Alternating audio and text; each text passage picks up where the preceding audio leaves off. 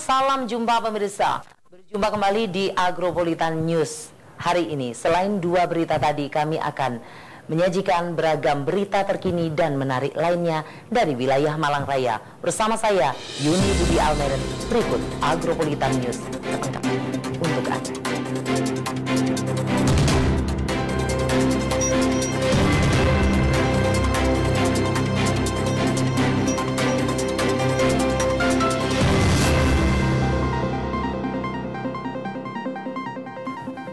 Mengawali Agropolitan News hari ini, berikut kami rangkum berita seputar Malang Raya dalam News 60 Detik.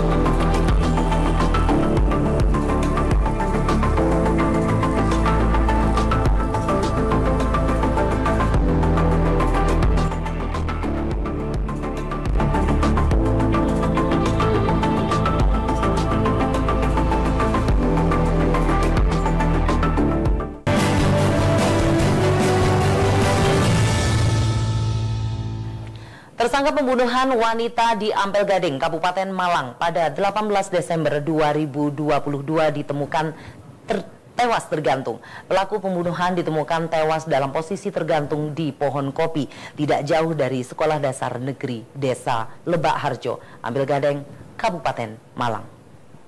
Nah,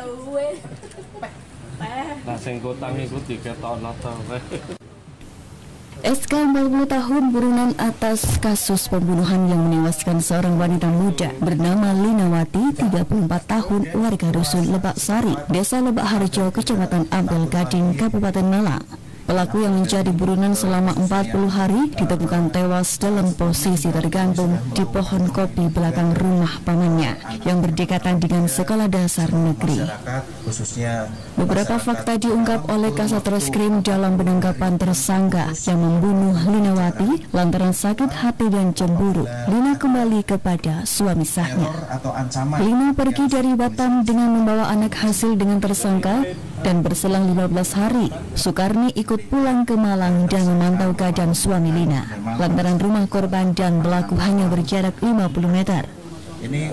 Saat suami kerja itulah Soekarni mendatangi rumah korban dan menghabisi dengan pisau dengan luka di perut, dada, dan menggorok leher Lina yang saat itu ada kedua anaknya juga yang kemudian lari ke dalam hutan. Menerjunkan tim Inovis dan seluruh unit Opsnal Satreskrim Polres Malang, perburuan dilakukan ke semak-semak dan hutan yang medannya sangat sulit, serta pencarian selama 40 hari ini akhirnya ditemukan tersangka meninggal dengan cara gantung diri di belakang rumah paman dan sekolah dasar.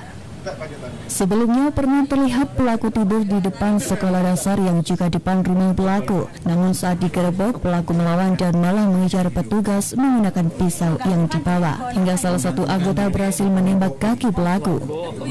Namun pelaku yang lebih mengetahui medan berhasil kabur di dalam hutan dan juga ditemukan goa tempat persembunyian pelaku. Namun saat digerebek hanya tertinggal tikar karung serta beberapa jenis buah. Pada 31 Januari 2023 dikabarkan bahwa tersangka sudah tergantung di pohon belakang rumah paman serta sekolah dasar. Usai olah TKP, mayat SK dibawa ke kamar mayat Rumah Sakit Saiful Anwar Malang guna diotopsi. Empat tim kita turunkan, tiga tim dari unit opsnal, kemudian satu tim dari unit identifikasi, ditambah perbantuan dari unit reskrim polsek. Kami melakukan pengejaran kurang lebih sampai dengan eh, tersangka ditemukan meninggal dunia. Kurang lebih 40 hari kami melakukan pengejaran di desa Licin, kecamatan Ampel Gading dengan medan dan kondisi yang sangat susah. Di sana lengkap ada bukit kemudian ada pantai ada sungai dengan medan yang sangat sulit dan belum dijamah oleh warga masyarakat setempat. Kami mendapatkan informasi dari kepala desa setempat bahwa telah ditemukan seseorang yang sudah dalam kondisi meninggal dunia dengan cara menggantung diri. Yang pertama kali melihat adalah anak sekolah, anak SD karena lokasi penemuan mayat tersebut berada di belakang sekolah dan berada di belakang rumah paman tersangka. Berdasarkan hasil otopsi, tersangka diduga tewas gantung diri karena tidak ditemukan bekas luka atau kekerasan baik di bagian luar maupun dalam tubuh tersangka. Dengan tewasnya tersangka, pelaku kasus pembunuhan terhadap wanita di Ambel Gading ini akhirnya tidak bisa dilanjutkan dan proses hukum pun dianggap selesai. Dari Kabupaten Malang, Mix Munir, ATV melaporkan. Dalam rangka memperingati Hari Lahan Basah International Ecological Observation and Wetlands Conservation dan Asosiasi Komunitas Sungai Nusantara menggelar aksi damai di alun-alun Kota Malang. Aksi damai ini merupakan salah satu kampanye terhadap keresahan-keresahan atas kondisi Sungai Berantas. Sementara Kota Malang termasuk daerah hulu dari Sungai Berantas. Berikut liputannya untuk Anda.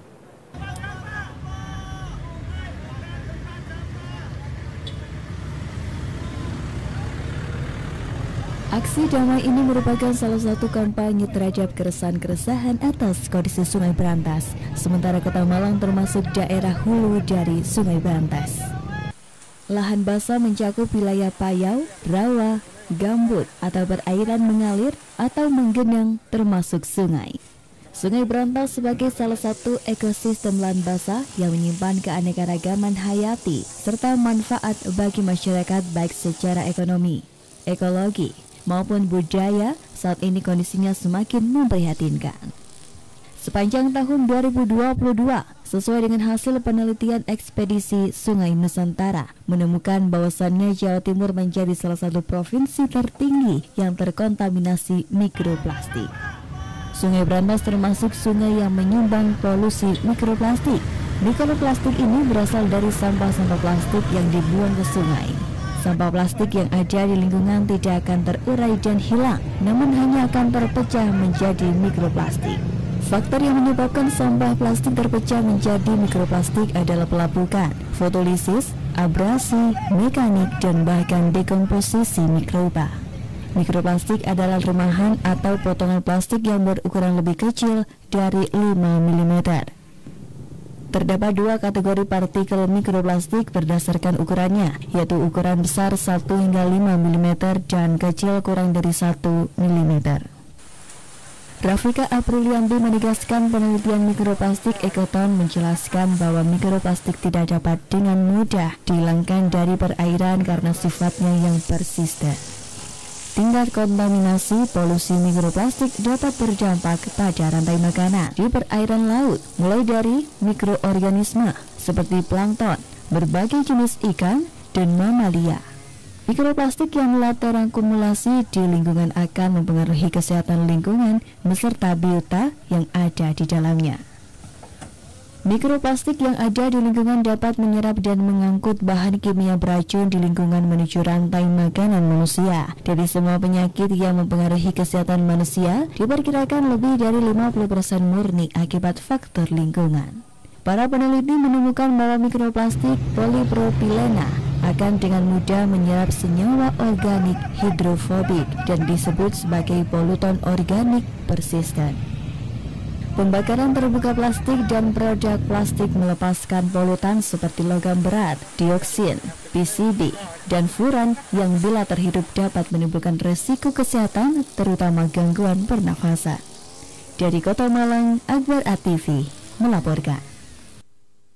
Pemirsa jangan beranjak dari tempat duduk Anda. Agropolitan News akan segera kembali setelah jeda iklan berikut ini.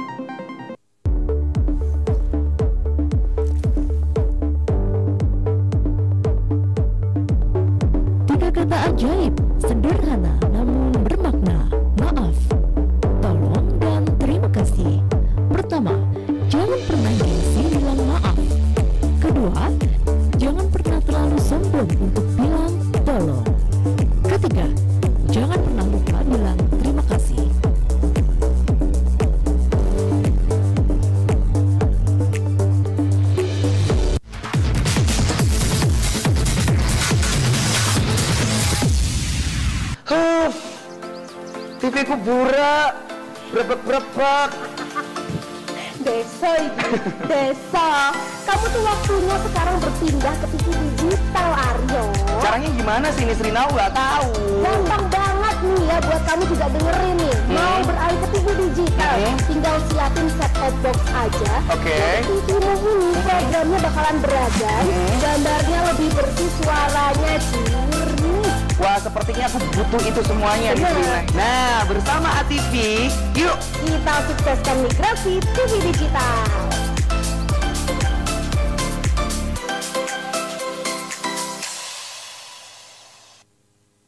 Dari korban baru. Kamu mau? Oke, oke. Bagaimana? Enak? Enak? Kamu mau juga? Oke. Suntik dulu, suntik dulu, suntik dulu. Siapa lagi? Oke, boleh, boleh. rasain, rasain. Oke, oke.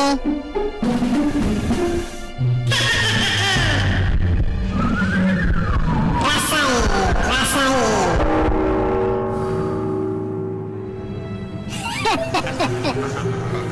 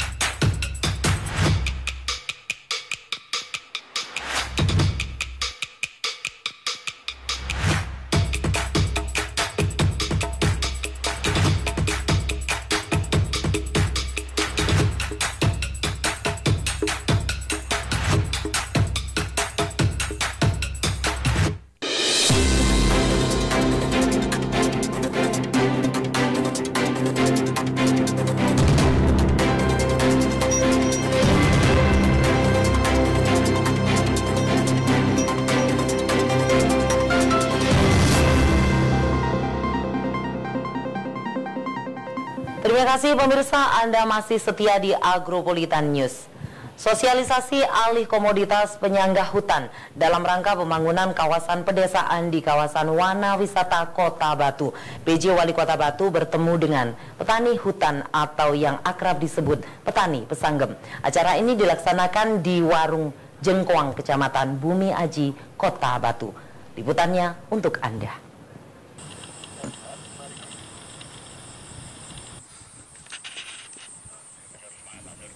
Sosialisasi alih komoditas penyangga hutan dalam rangka pembangunan kawasan perdesaan di kawasan Wana Wisata Kota Batu. PJ Wali Kota Batu bertemu dengan petani hutan atau yang akrab disebut dengan petani pesanggam.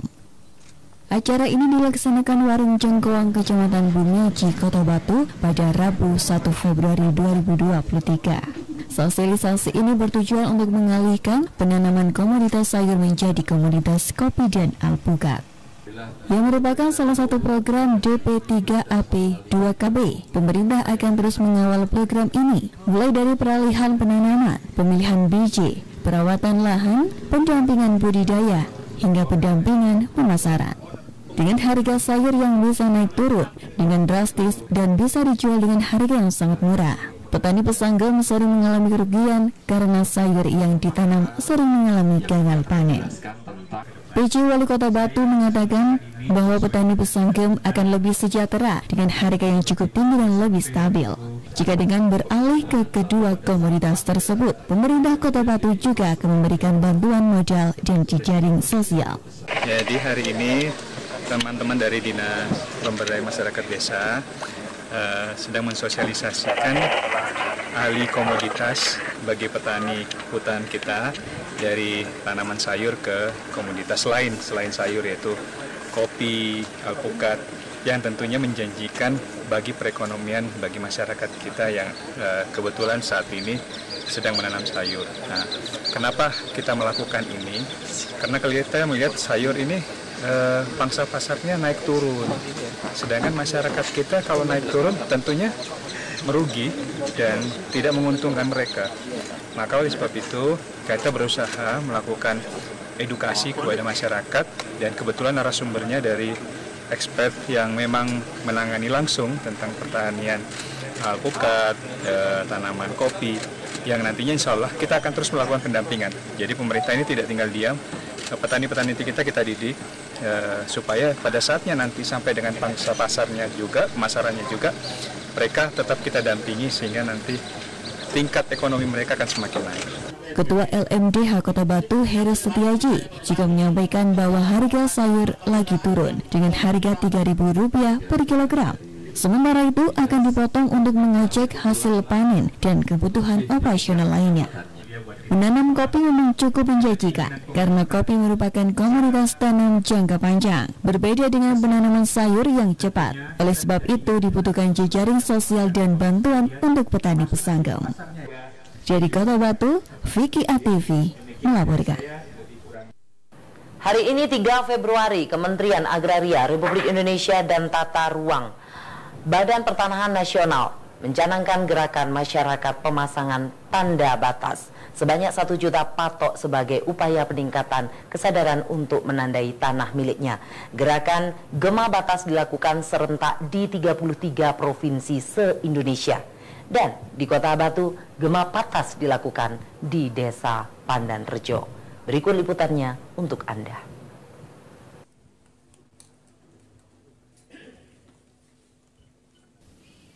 Hari ini 3 Februari Kementerian Agraria Republik Indonesia dan Tata Ruang Badan Pertanahan Nasional mencanangkan gerakan masyarakat pemasangan tanda batas gema patas sebanyak satu juta patok sebagai upaya meningkatkan kesadaran untuk menandai tanah miliknya.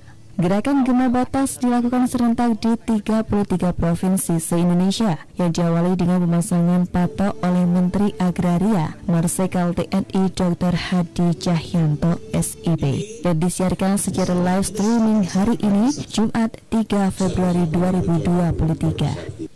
Kepala BPN Kota Batu Insinyur Haris Soeharto MM mengatakan Gema Patas merupakan rangkaian persiapan pelaksanaan kegiatan percepatan pendaftaran tanah sistematis lengkap terintegrasi tahun 2023. Pemasangan patok tanda batas tanah ini merupakan kewajiban masyarakat sebelum mendaftarkan tanahnya agar saat petugas pengukuran akan mengukur batas tanahnya dapat lebih mudah dan cepat. Selain itu untuk pengamanan aset dan menjamin kepastian batas bidang tanah.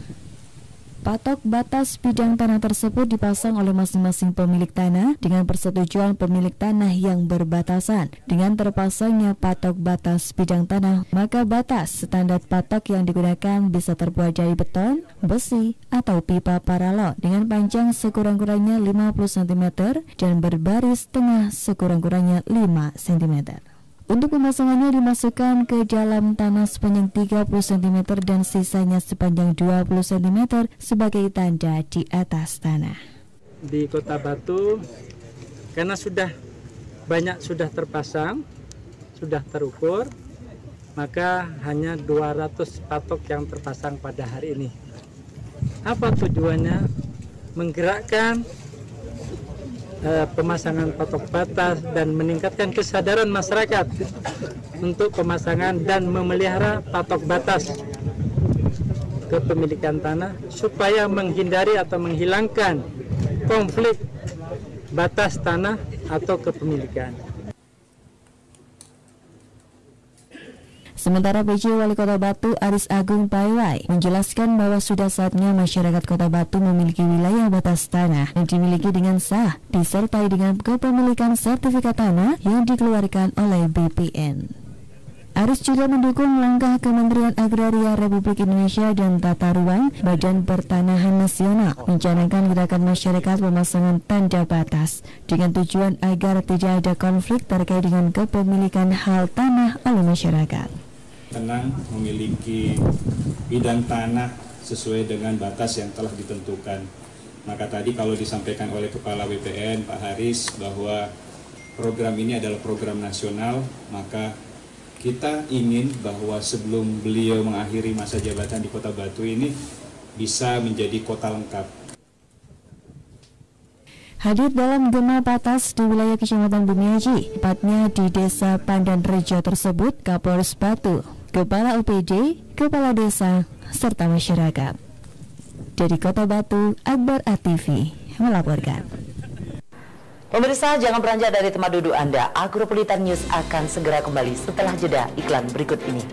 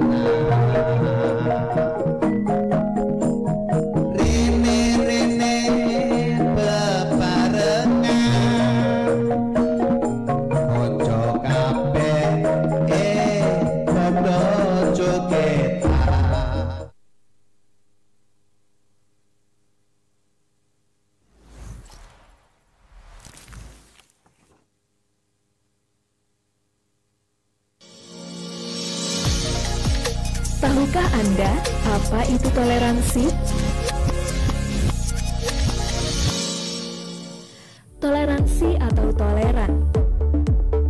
Secara bahasa, kata ini berasal dari bahasa Latin tolerari, yang berarti dengan sabar membiarkan sesuatu yang dianggap menyimpang atau salah dengan batasan tertentu. Pengertian toleransi secara luas adalah suatu perilaku atau sikap manusia yang tidak menyimpang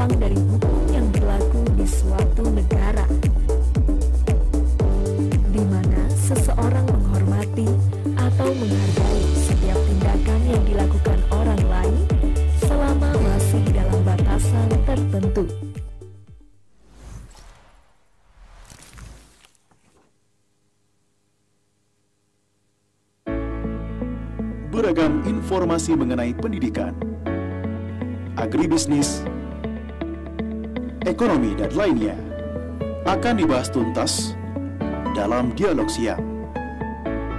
Setiap hari Rabu, Kamis, dan Jumat, jam 1 siang, hanya di ATV.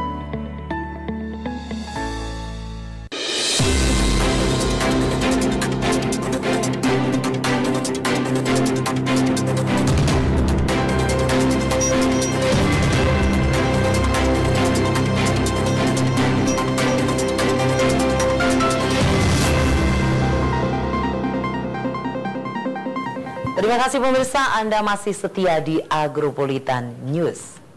Dari hasil realisasi pokok pikiran DPRD Kota Batu terhadap sekolah-sekolah, DPRD Kota Batu berharap agar pemerataan mutu dan kualitas pendidikan di Kota Batu dapat merata, sehingga sekolah-sekolah yang letaknya berada jauh dari pusat Kota Batu nantinya fasilitasnya tidak kalah dengan sekolah-sekolah yang berada di pusat kota.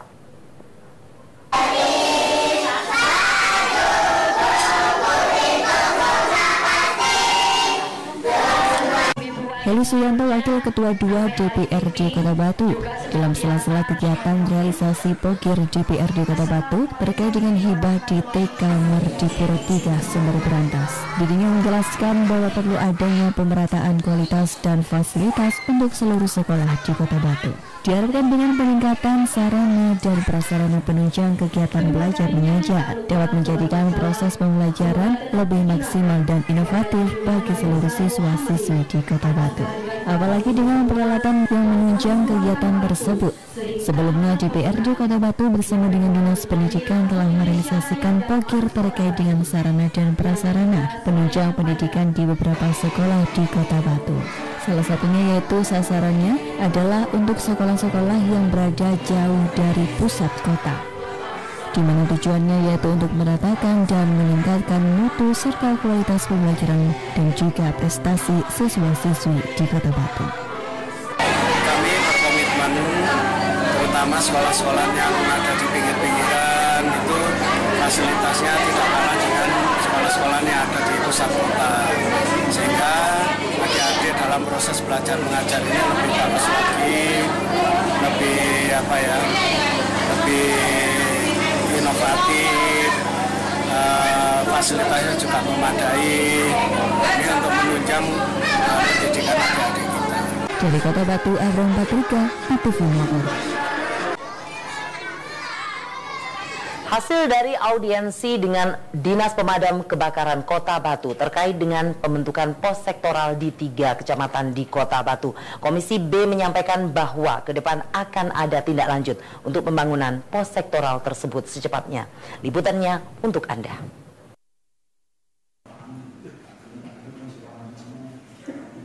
Disampaikan Haridana Wahyono bahwa akan ada percepatan realisasi oleh Dinas Pemadam Kebakaran terkait dengan pembangunan pos sektoral tersebut di mana nantinya untuk penempatan di lahan yang menggunakan lahan bengkok milik desa harus ada izin serta melalui beberapa proses perizinan dari pihak desa. Terkait dengan batas penyelesaian realisasi pos sektor, Komisi B sendiri berharap agar sudah dapat terrealisasikan di antara bulan Agustus sampai dengan Oktober. Dewan sendiri nantinya akan menganggarkan dalam PAK untuk perencanaannya. Nantinya setelah selesai proses perencanaan diharapkan di tahun 2024 untuk pembangunan pos sektoral dapat terrealisasi. Mulai, ke, mulai kemarin sudah dicanangkan dan ini ada maraton dari hmm? dinas kebakaran yang memang leading uh, listrik kebakaran adalah tugasnya itu untuk bisa menjadikan pos sektor tadi kerja keras mulai sekarang. Jadi kerja keras untuk MUU untuk bagaimana uh, kalau di desa kan sulit itu tanah bengkok yang akan digunakan berarti harus melalui musyawarah desa ini, ini kita sebut terus. Kapan Pak kalau boleh tahu apa ada batas waktu penyelesaiannya pos sektor itu? Jadi, jadi gini, jadi ini kan penjajakan untuk men mendapati lahan jadi proses lahan ini ya begini kami harapkan di bulan 10 sudah selesai. Di bulan 8 10 sudah selesai. Terus di PAK kami anggarkan untuk perencanaan. Kalau sudah tempatnya sudah ada, ada perencanaan pembangunan kan. 2024 itu adalah pembangunan untuk proses Ber, berapa titik Pak? Sektor. Dua titik. Dari Kota Batu, Abraham Patrika, ATV melaporkan. Pemirsa jangan beranjak dari tempat duduk Anda. Agropolitan News akan kembali setelah jeda iklan berikut ini.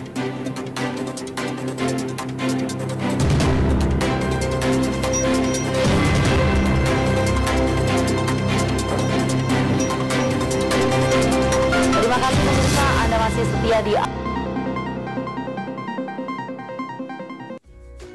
Jaga stunting itu penting. Stunting gangguan tumbuh kembang pada anak akibat kekurangan gizi kronis dan infeksi berulang sehingga tinggi badannya berada di bawah standar. Ciri-ciri stunting pada anak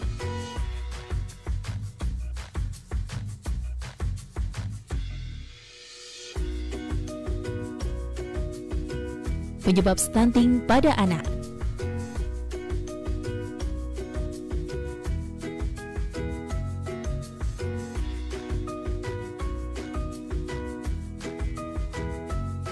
Cara mencegah stunting.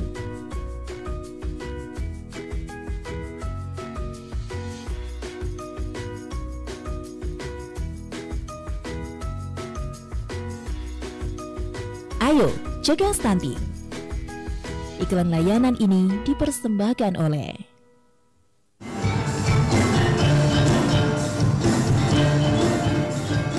Selendang Sari.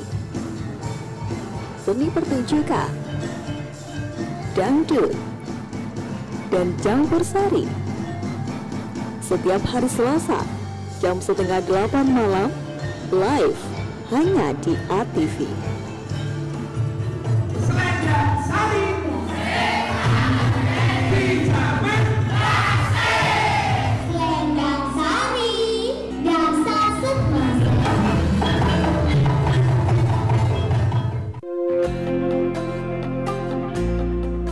Agroblitan Televisi sebagai lembaga penyiaran publik lokal berkomitmen melayani masyarakat dengan membantu menyediakan wadah promosi seluas-luasnya bagi pelaku UMKM Kota Batu. Mari daftarkan usaha Anda sekarang juga. Pasang iklan usahamu di sini secara gratis.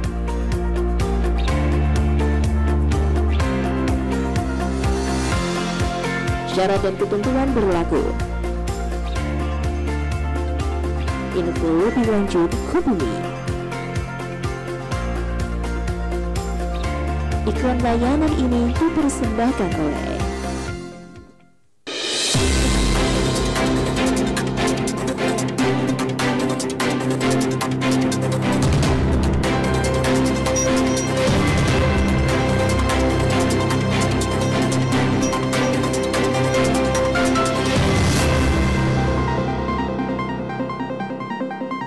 Terima kasih pemirsa Anda masih setia di Agropolitan News. Irjen Kemenkumham Republik Indonesia memberikan tausiah kepada warga binaan Lapas Lowok Waru, Malang. Selain tausiah, juga meninjau hasil program pembinaan kerja bagi WBP Lapas kelas 1 Malang. Berikut liputannya untuk Anda.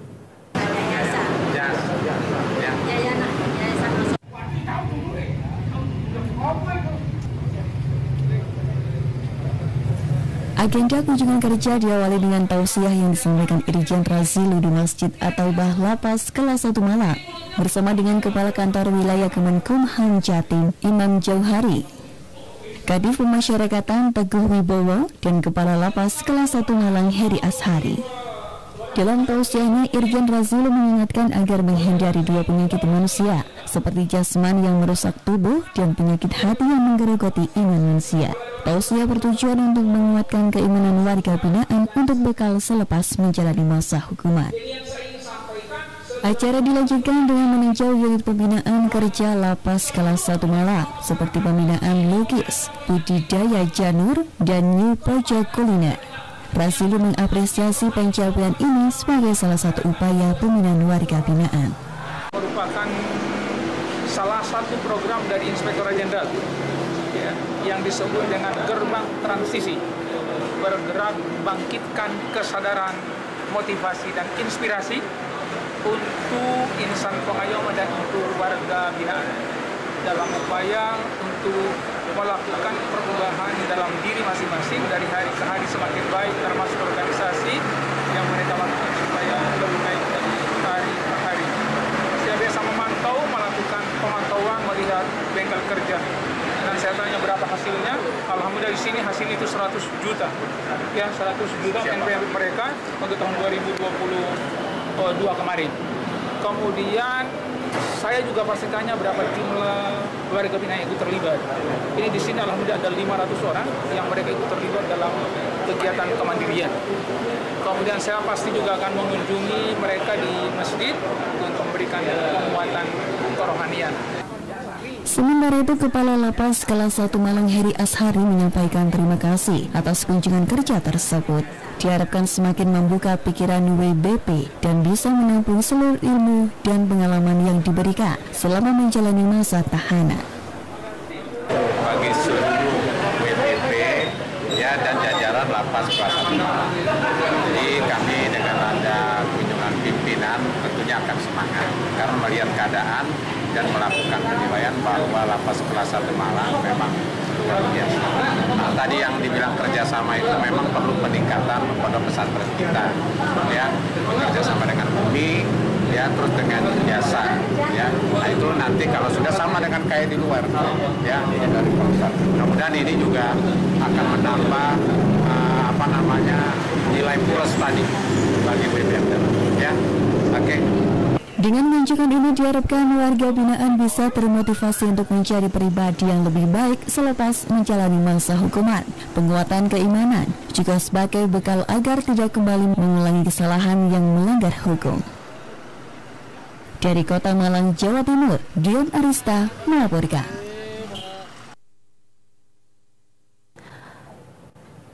Terima kasih pemirsa, Anda masih setia di Agropolitan News. Angin kencang dengan tiba-tiba terjadi di seluruh daerah di Jawa Timur pada Jumat 3 Januari 2023. Badan Meteorologi, Klimatologi, dan Geofisika Karangploso Malang memperingatkan kepada semua warga masyarakat di Jawa Timur untuk tetap waspada dikarenakan potensi hujan dan banjir masih akan terjadi. Berikut liputannya untuk Anda.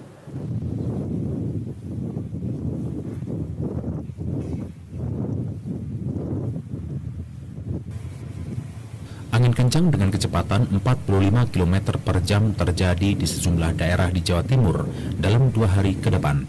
Kondisi angin kencang yang dirasakan lebih kencang dari biasanya ini ditimbulkan karena adanya pusaran tekanan rendah di Selat Jawa Timur. Mengakibatkan tarikan angin itu menyebabkan kecepatan angin yang lebih kencang dari biasanya. Perakiraan BMKG angin kencang ini sampai tanggal 4 Januari 2023 masih ada potensi terjadi angin kencang. Prakirawan BMKG Karangploso Malang menjelaskan penyebaran anginnya cukup merata di Jawa Timur. Masyarakat perlu waspada dikarenakan masih berada di musim penghujan, potensi terjadinya cuaca ekstrim baik itu hujan lebat disertai petir, kemudian kondisi angin kencang masih berpotensi sekali di bulan-bulan seperti ini.